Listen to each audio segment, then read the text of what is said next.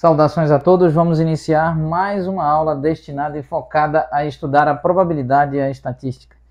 Dando então continuidade aqui, no, considerando o exemplo de uma equipe de jogadores de vôleibol ou basquetebol, por exemplo, aqui nós temos a média ou esperança matemática da ordem de 190 centímetros aproximadamente, ou 1,90m é, centímetros de estatura.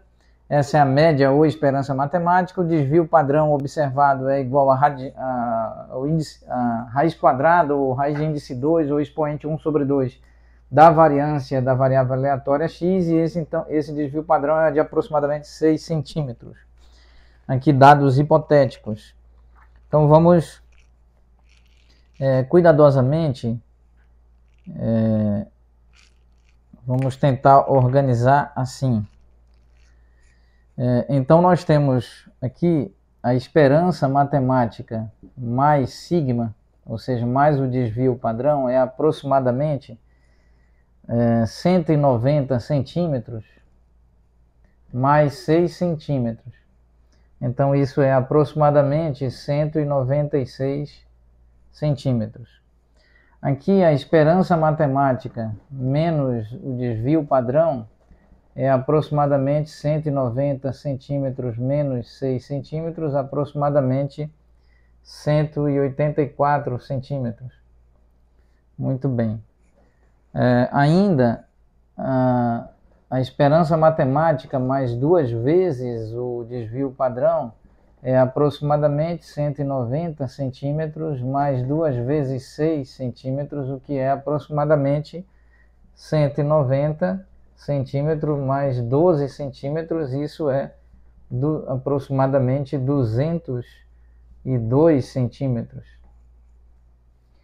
Do, similarmente, a esperança matemática menos duas vezes a o desvio padrão é aproximadamente 190 centímetros menos 2 vezes 6 centímetros, que é aproximadamente 190 centímetros menos 12, 12 centímetros, isso é aproximadamente 178, 178 centímetros. Pois bem, então agora é, vamos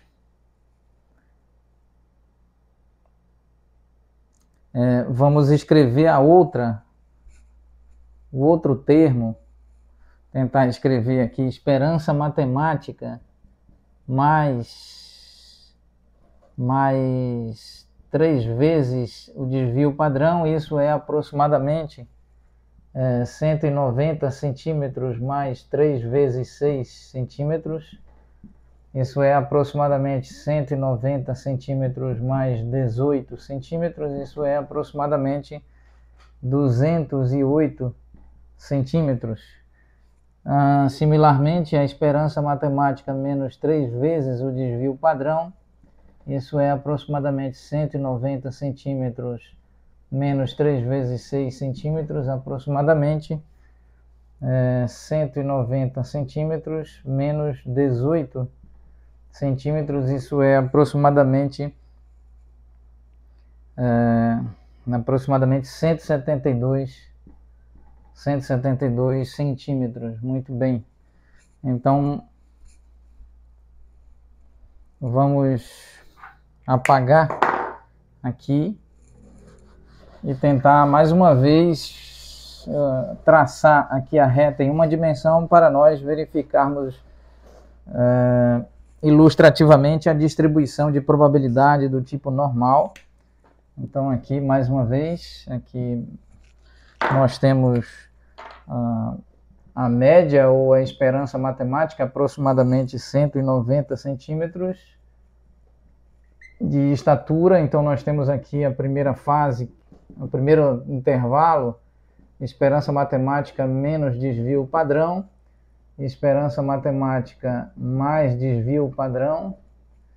O próximo intervalo é, é aqui entre a esperança matemática menos duas vezes o desvio padrão, esperança matemática mais duas vezes o desvio padrão, e o último intervalo mais ampliado é, está entre a esperança matemática menos o desvio padrão, mais a esperança matemática mais o desvio padrão. Muito bem.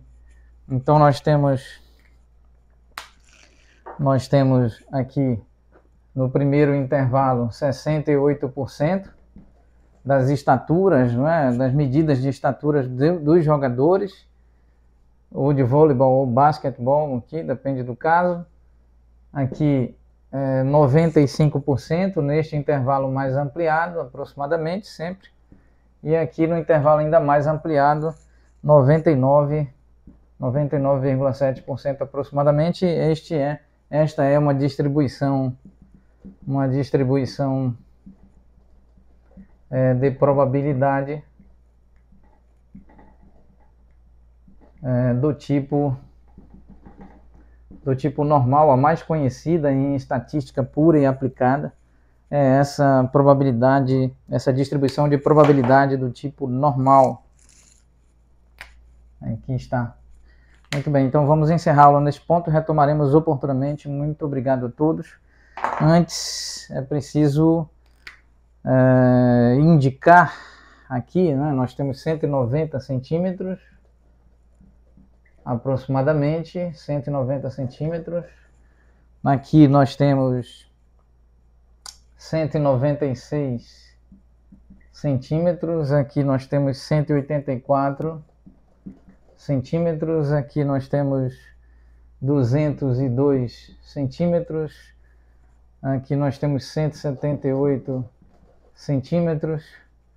Aqui nós temos 208 centímetros e ainda nós temos 172 centímetros. Então 99,7% dos jogadores é, sob análise estão inclusos no, no mais amplo é, intervalo, 95% estão inclusos distribuídos aqui no, no, no, intervalo intermediário e 68% estão inclusos no primeiro e mais curto intervalo, uh, considerando então aqui uma distribuição de probabilidade do tipo normal. Muito bem, muito obrigado a todos.